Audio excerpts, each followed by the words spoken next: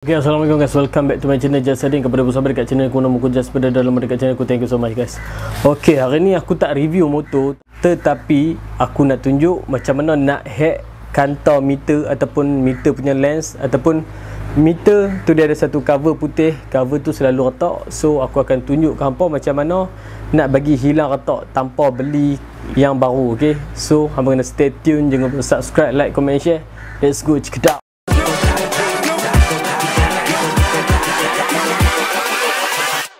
Hold up.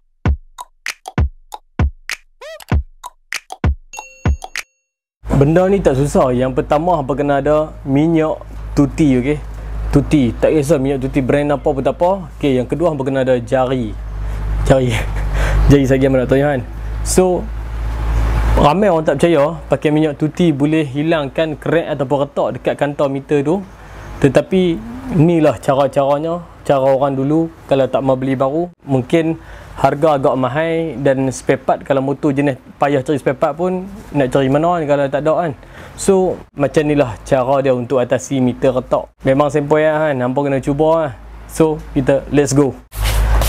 Ok so first kali kita buka dulu lah botol dia kan. Aku yang ni aku dah guna dah. So senang sikit lah tak payah ambil kunci tekan buka dia punya cover. So bismillahirrahmanirrahim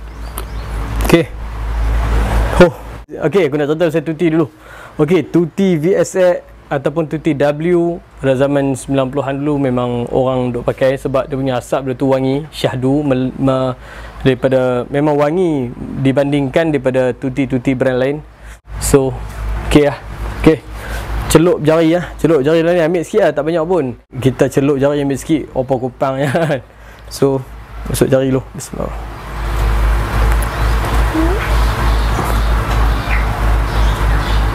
Okey, jangan pergi meleleh-meleleh guys.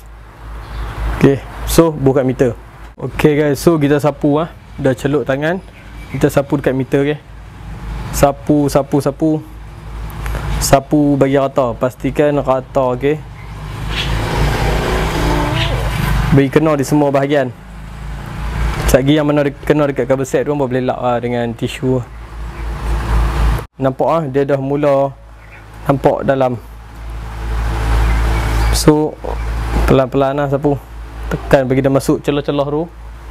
Ok meter dah mula nampak clear. Ok Boleh lah tengok lagi kan daripada kita beli lain duit habis banyak kan. So meter dah mula nampak sikit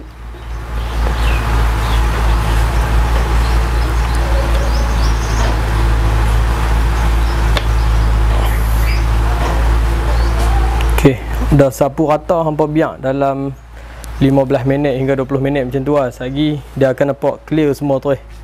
Ok minyak pun akan serap masuk dalam celah-celah ruang tu. So dia akan clear. Lagi kita tengok lain ok ok guys. Setelah 15 minit ok so hampa tengok meter pun dah clear. Crack tu pun adalah nampak dalam 10% macam tu. So memang nampak clear kan? Daripada kita beli meter baru yang ni original tu eh meter sekali dengan lens dia original. So boleh pakai balik. Selamat mencuba guys. Ok so memang sempoi lah kalau hampa suka dengan video aku kali ni jangan lupa subscribe like comment and share. Ok thank you guys. Ok guys. Tu saja video aku untuk hari ni untuk kali ni. So aku harap hampa dapat cuba dan manfaatkan apa yang aku tunjuk. Ok daripada kita beli meter ataupun lens meter yang harga puluh-puluh ringgit ataupun belah-belah ringgit So apa apa kata kita DIY sendiri kan orang kata ambil ambil minyak tuti dan letak dekat situ tonyoh-tonyoh dia akan jadi macam baru balik.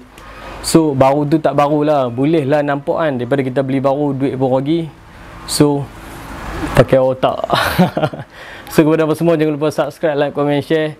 Thank you so much guys sebab selalu support aku. Assalamualaikum.